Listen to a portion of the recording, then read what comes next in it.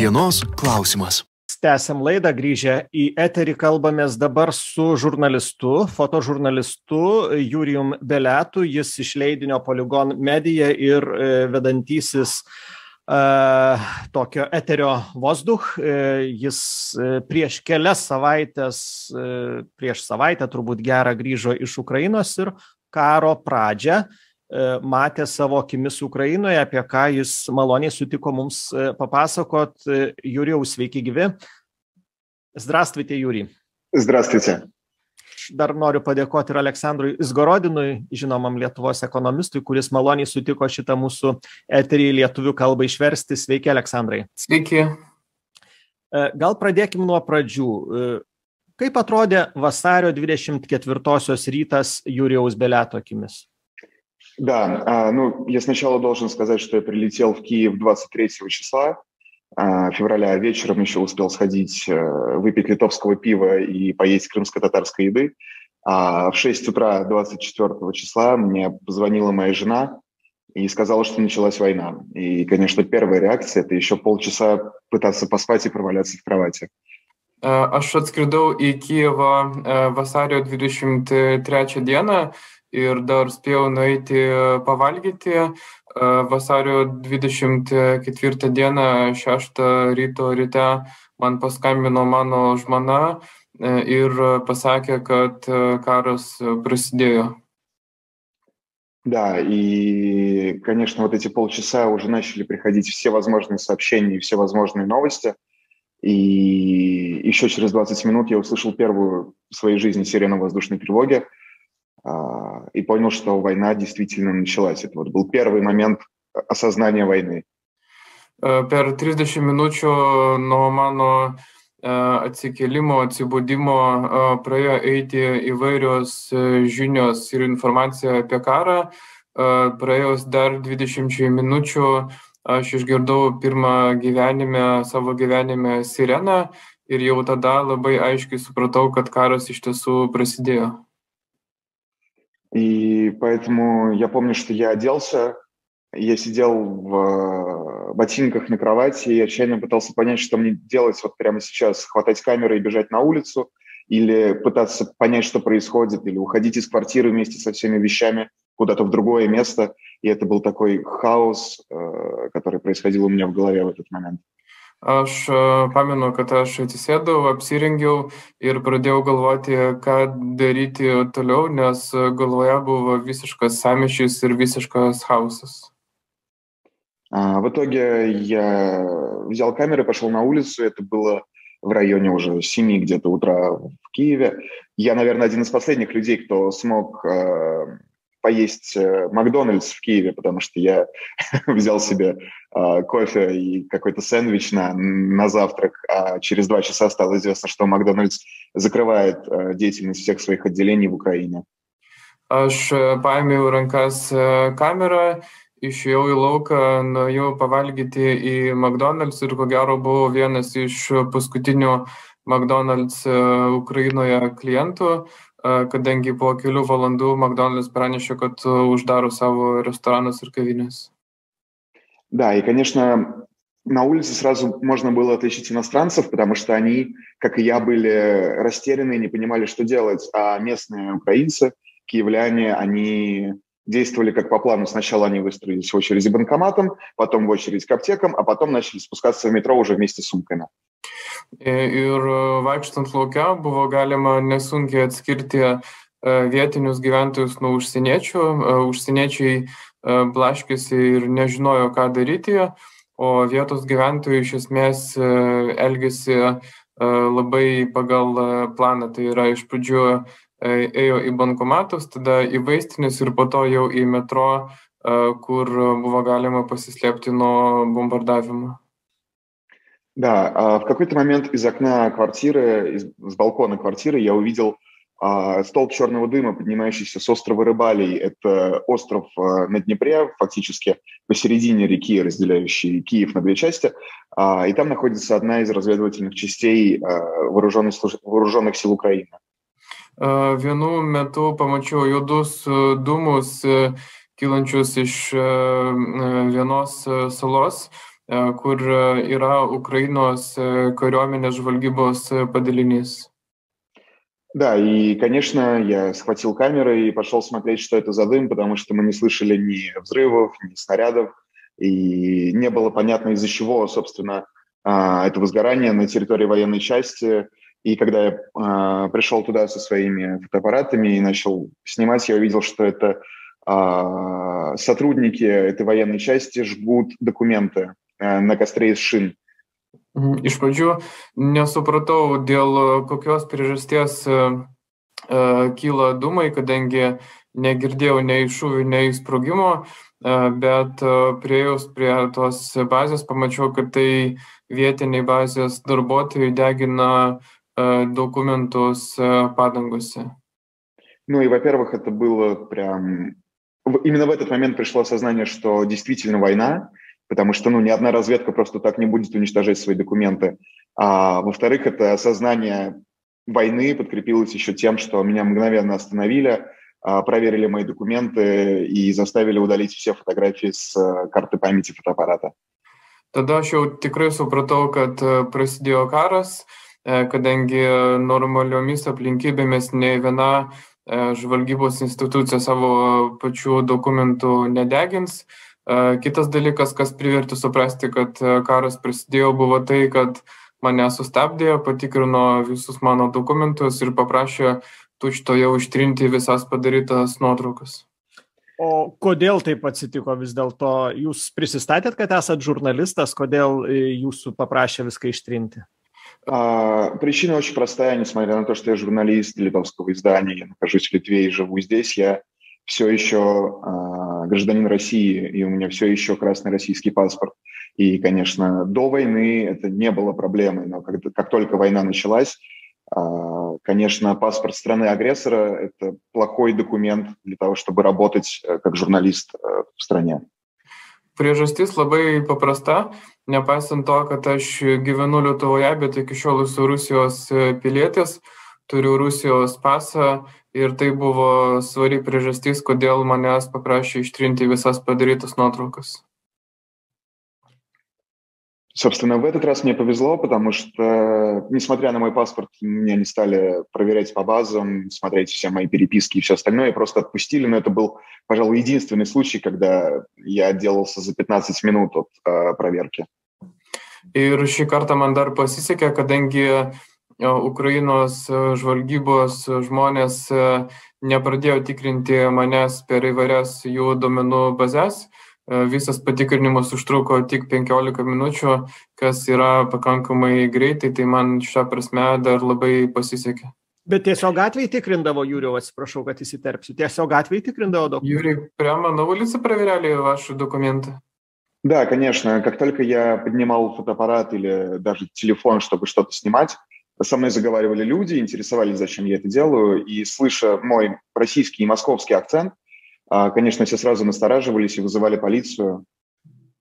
Taip, buvo tikrinami dokumentai gatvėse, kai tik žmonės pamatydavo, kad aš kažką fotografuoju, iš karto prieidavo, klausdavo, kodėl aš tai darau ir ką aš darau, ir iš karto atitinkamai kviesdavo policijos pareigūnus. И, конечно же, полиция вызывала службу безопасности Украины, местный аналог ФСБ российского, например, да, специальную службу. Ir žinoma, kad policijos pareigūnai iš karto kviesdavo Ukrainos saugumo tarnybą.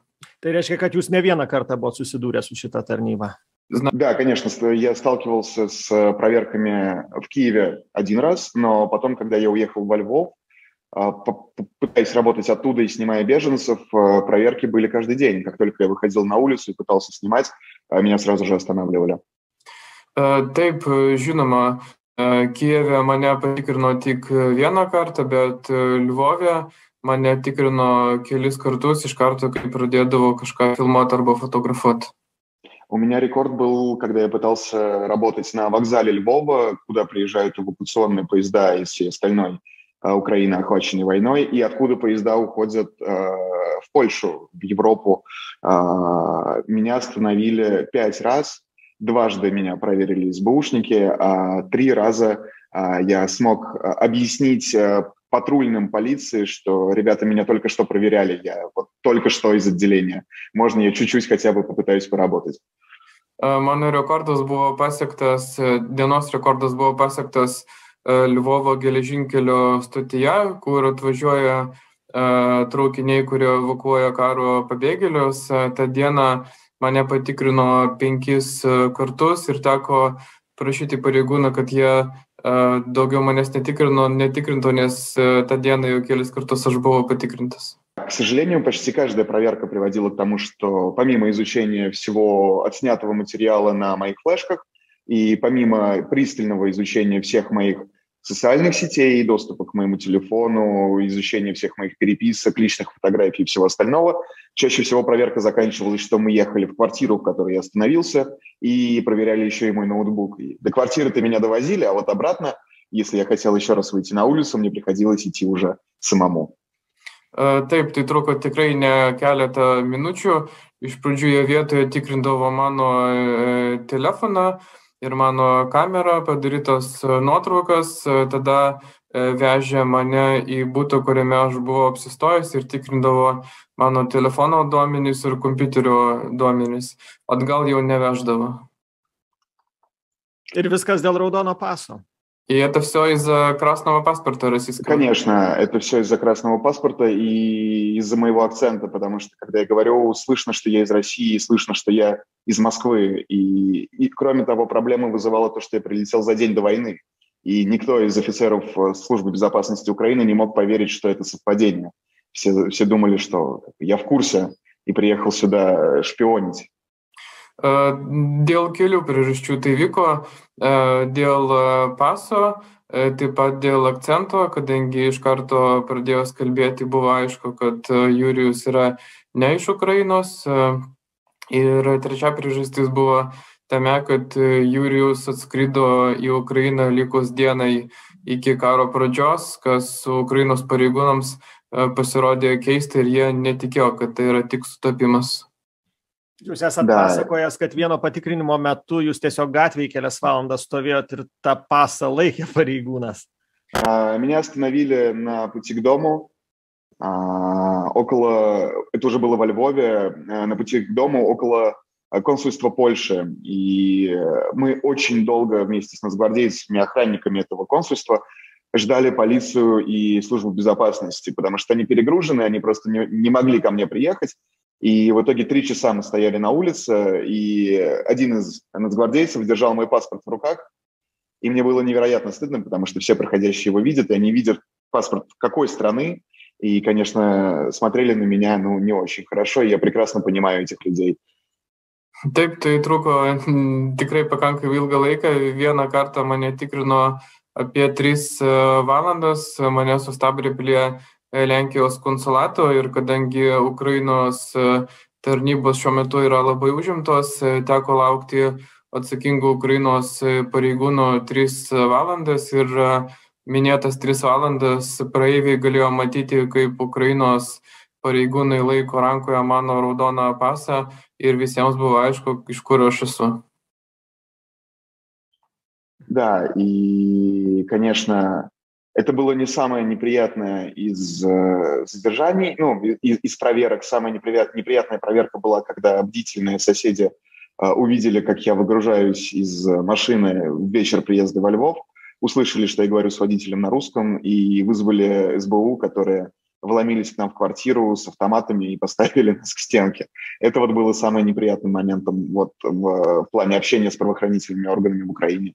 Bet pats nemaloniausias įvykis buvo tada, kai aš atvažiavau į Lvovą ir kaimynai pamatė, kad aš atvažiuoju, išgirdo, kad aš su vairuotoju kalbu rusiškai, paskambino į Ukrainos spets tarnybos, kurios įsiveržė į mūsų butą su ginklais ir pradėjo mus tikrinti. Buvo tikrai nemalonu.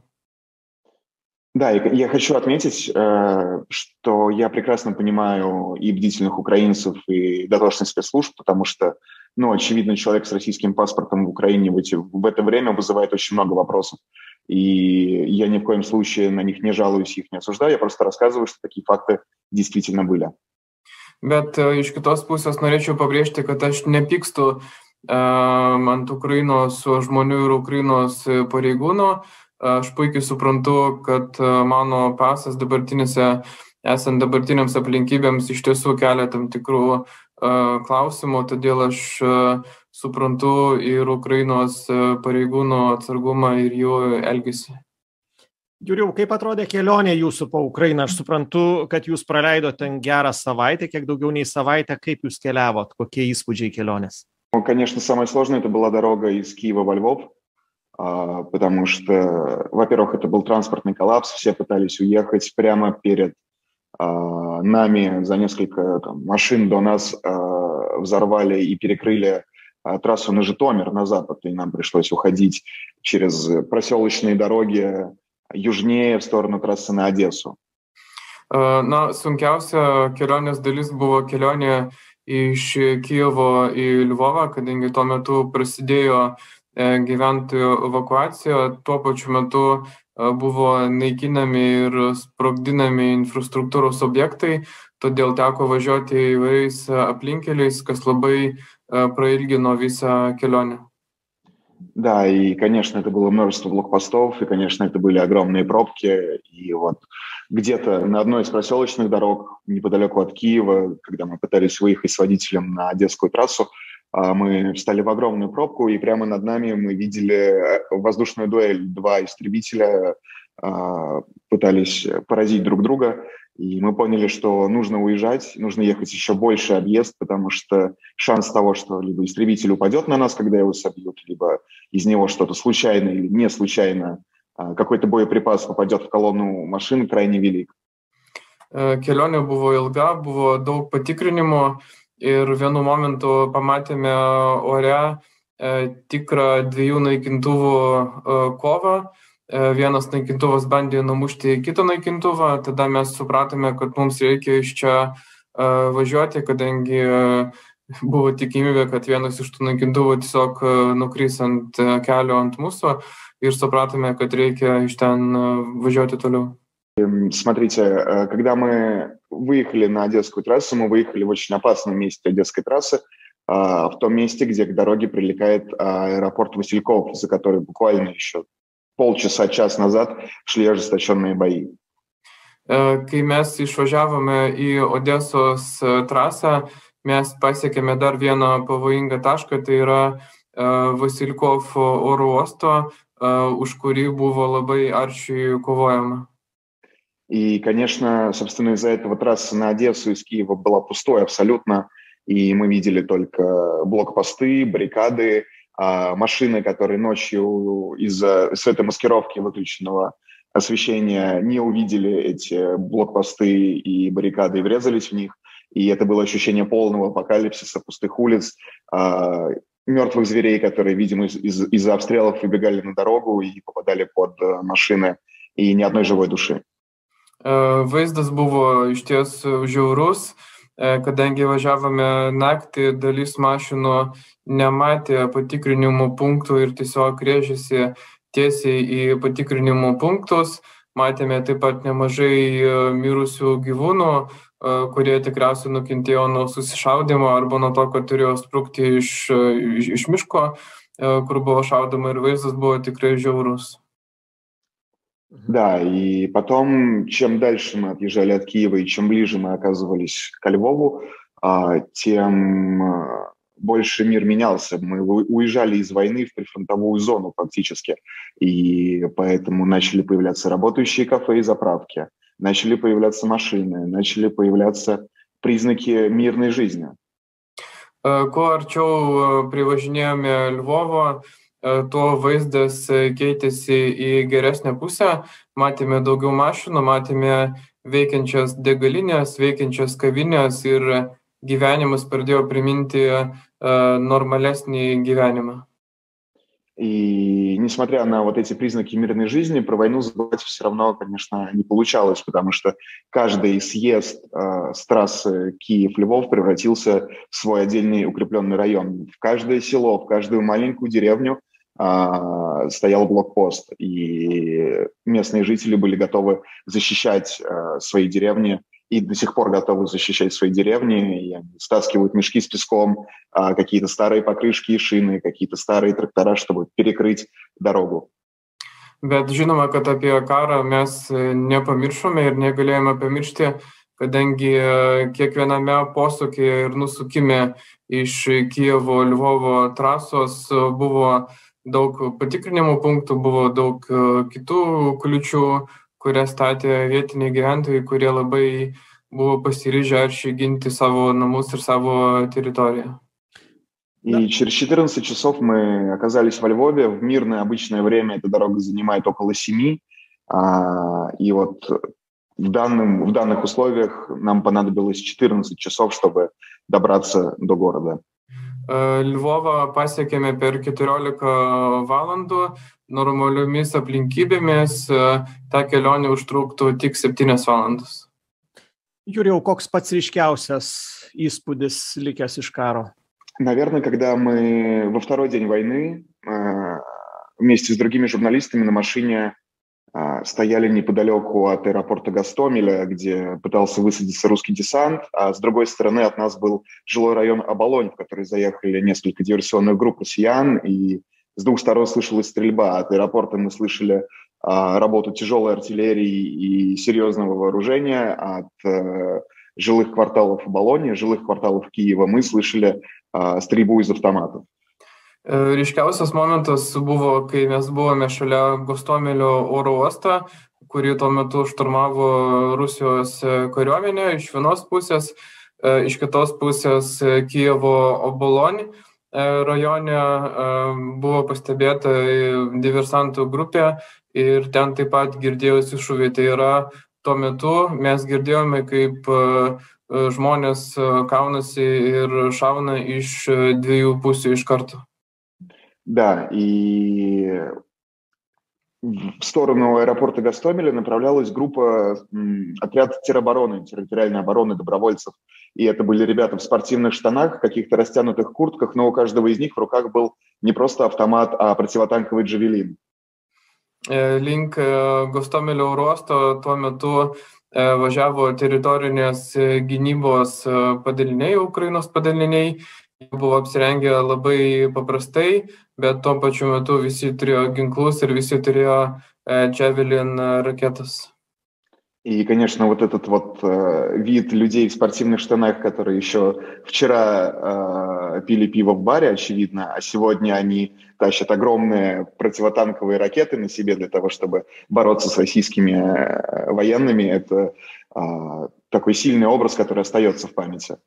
Ir tas vaizdas kai sportiškai apsirengę žmonės nešasi ant savęs ginklus ir raketas aišku atrodo įspūdingai kadangi tikėtina kad dar prieš keletą dienų tie sportiškai apsirengę žmonės tiesiog gėrė alų baruose o šiandien jau nešasi ginklus ir kovoja su su kariuomene rusijos jurijau pabaigai vis dėlto aš suprantu kad na aš bent neįsivaizduoju kad galima būtų ramiai užmigti tokiu metu kaip jūs dabar pasakojat ukrainoj grįžus į lietuvą jums lengva dabar užmigti Знаете, мне повезло, у меня довольно стабильная психика, и я не чувствую никаких эффектов посттравматического расстройства и никаких симптомов и проблем. И, конечно, спится мне хорошо, но вот выходные, которые а, были три дня назад. Мы с женой пошли гулять в, по Вильнюс, э, в парк. И вдалеке я услышал э, стрельбу, там стрельбище, и там какие-то ребята стреляли из пистолетов. И я понял, что я не хочу знать и не хочу разбираться в том, стреляют из пистолетов или не из пистолетов.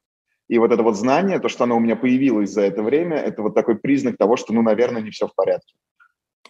Iš vienos pusės man pasisekė, kadangi turiu labai stabilią psichiką ir neturiu posttraumatinio sindromo, bet iš kitos pusės savaitgalį su žmona išėjome prieseiti po Vilnių ir viename iš Vilniaus parkų išgirdau, kaip žmonės šaudo iš ginklų.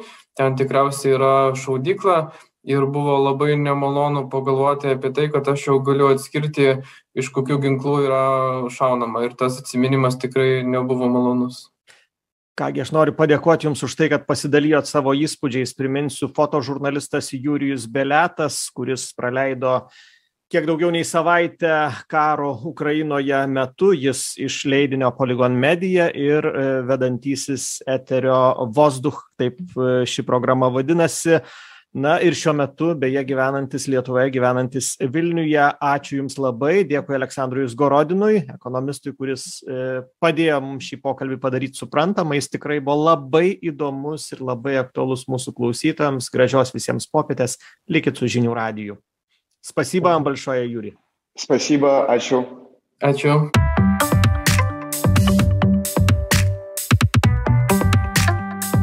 dienos klausimas